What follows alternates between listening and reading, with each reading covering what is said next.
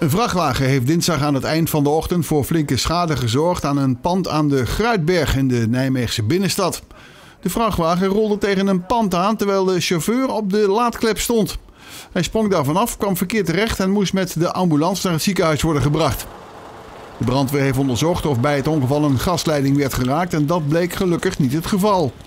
Een berger werd gevraagd naar de Gruitberg te komen, maar voordat die er was had de brandweer zelf al de vrachtwagen bij de muur weggesleept. De brandweer heeft eveneens contact gehad met de eigenaar van het pand. Vermoedelijk moeten de garages worden gesloopt.